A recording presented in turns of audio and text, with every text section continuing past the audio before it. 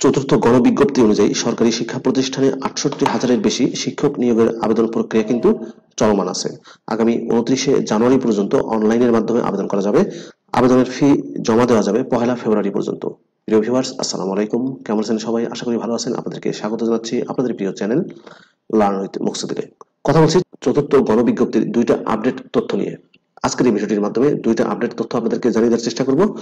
প্রথম যে আপডেটটি জানিয়ে দেবো, সেটা হচ্ছে চতুর্থ গণবিজ্ঞপ্তিতে আজ পর্যন্ত কত আবেদন জমা পড়েছে?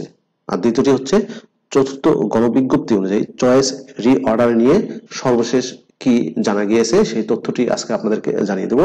আশা করি ভিডিওটি শুরু থেকে শেষ পর্যন্ত আপনারা আমার সাথে থাকবেন। আর এরকম লেটেস্ট তথ্যগুলো আগে পেতে চাইলে অবশ্যই আপনাদের প্রিয় চ্যানেলটি সাবস্ক্রাইব করে দেবেন। তো চলুন আমরা এই দুইটা তথ্য একটু জেনে আসি। চতুর্থ গণবিজ্ঞপ্তিতে কত আবেদন জমা পড়ছে আমরা প্রথমে এই তথ্যটি জানব। বেসরকারি শিক্ষা প্রতিষ্ঠানের আটষট্টি হাজারের বেশি শিক্ষক নিয়োগের আবেদন চলছে আগামী উনত্রিশে জানুয়ারি পর্যন্ত। অনলাইনের মাধ্যমে আবেদন করা যাবে। আবেদন ফি জমা দেওয়া যাবে পহেলা ফেব্রুয়ারি পর্যন্ত। এবার প্রার্থী একটি মাত্র আবেদনের মাধ্যমে চাকরি পাবেন। আবেদন ফি ধরা হয়েছে এক হাজার টাকা। আবেদনের ক্ষেত্রে চল্লিশটি প্রতিষ্ঠান পছন্দ করুন দেওয়া যাচ্ছে। এছাড়া চল্লিশটির বাইরের প্রতিষ্ঠানেও চাকরির সুযোগ থাকছে। বেসরকারি শিক্ষক নিবন্ধন ও প্রত্যয়ন কর্তৃপক্ষ এনটিআরসি এর নিয়োগ শাখা সূত্রে জানা গেছে, বুধবার পঁচিশে জানুয়ারি পর্যন্ত আশি হাজার চাকরি প্রার্থী আবেদন সম্পন্ন করেছেন। চতুর্থ গণবিজ্ঞপ্তির মোট আবেদন সংখ্যা এক লাখ হতে পারে। নাম প্রকাশে অনিচ্ছুক। এনটিআরসির নিয়োগ শাখার এক কর্মকর্তা দ্য ডেইলি ক্যাম্পাসকে বলেন, এখন পর্যন্ত, বুধবার বিকেল পর্যন্ত প্রায় আশি হাজার আবেদন জমা পড়েছে। আবেদনের সংখ্যা এক লাখ ছাড়তে পারে। সার্বিক বিষয়ে এনটিআরসির সচিব ওবায়দুর রহমান দ্য ডেইলি ক্যাম্পাসকে বলেন, অনেকেই আবেদন ফি জমা দেননি, তাই আবেদনের প্রকৃত সংখ্যা এখনই বলা যাচ্ছে না।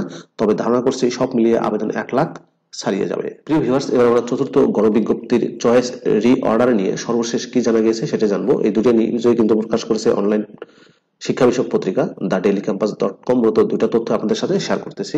বেসরকারি শিক্ষা প্রতিষ্ঠানে অর্ধ লাখের বেশি শিক্ষক নিয়োগের আবেদন গ্রহণ চলছে। আবেদন করতে গিয়ে চাকরি প্রার্থীদের চয়েস লিস্ট ওলটপালট হয়ে যাচ্ছে বলে অভিযোগ উঠেছে।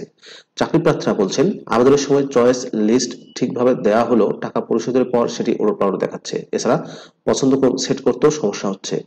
যেভাবে তারা চয়েস লিস্ট দিয়েছেন, সেভাবে আসছে না।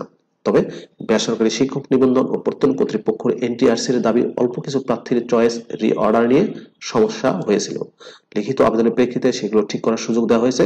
সামগ্রিকভাবে চয়েস রি অর্ডার করার সুযোগ দেওয়া হবে না।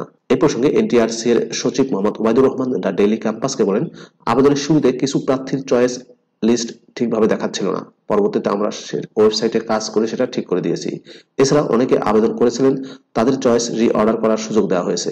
তিনি আরও বলেন, আমরা সকলকে চয়েস রি অর্ডারের সুযোগ দেব না, এটি করা হলে অনেক সমস্যা দেখা দেবে। তবে যারা চয়েস রি অর্ডারের জন্য আবেদন করেছেন, তাদের শুধু সুযোগ দেওয়া হবে। প্রিয় ভিউয়ার্স, এই ছিল এনটিআরসি এর সর্বশেষ দুটা আপডেট তথ্য।